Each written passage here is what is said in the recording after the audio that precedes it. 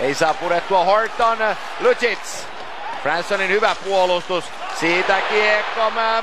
Bartowski tekee ensimmäisen.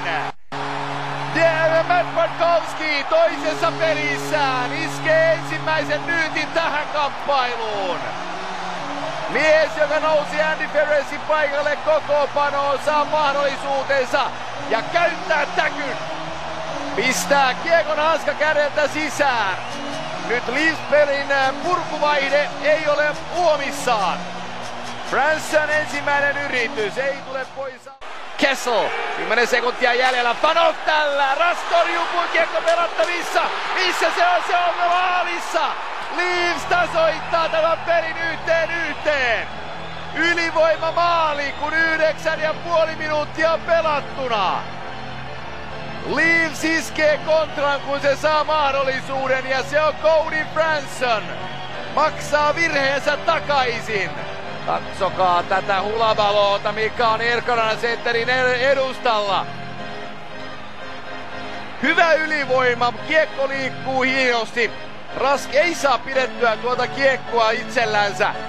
Ja se on lopulta Cody. Erä toinen erä toistaiseksi maaliton. Grabowski saa selkeänsä Hamiltonin. Häneltä puhdas hyvä taklaus. Cody Franson laukomaalin! Onpa melkoinen ruoska, jonka Cody Franson lähettää viivasta. Aivan älytön piiska Cody Bransonilta ja Nation sekoaa.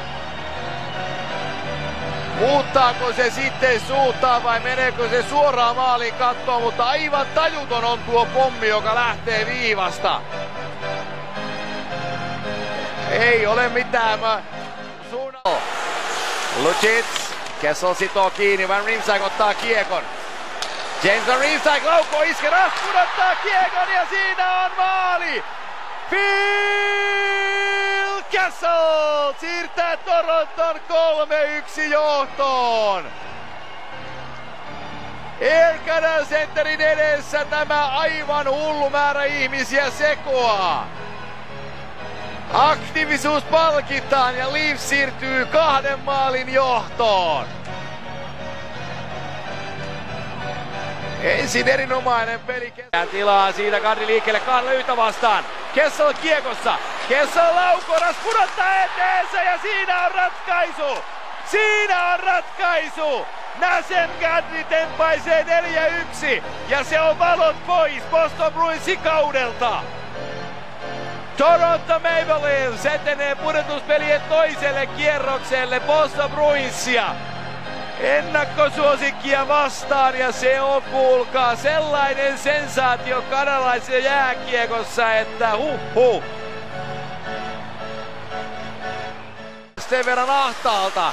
Siellä J.L. Payet maalin tekijänä 2-4 kavennus on taululla ja vielä on vajaa 11 minuuttia jäljellä.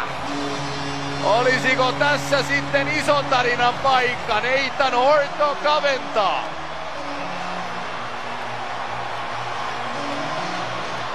Nathan Horto kaventaa.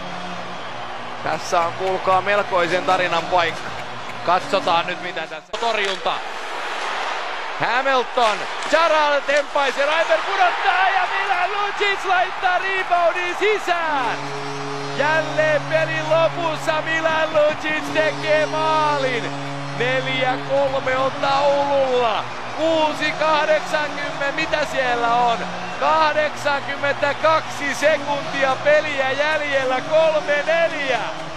Onhan tämä nyt sellainen Lean Filleri, ettei mitään järkeä. Puroi tilanteessa Jaager. Jaager syöttää Pöiseronen laukomaan. Krejci, Pöisero ranteen!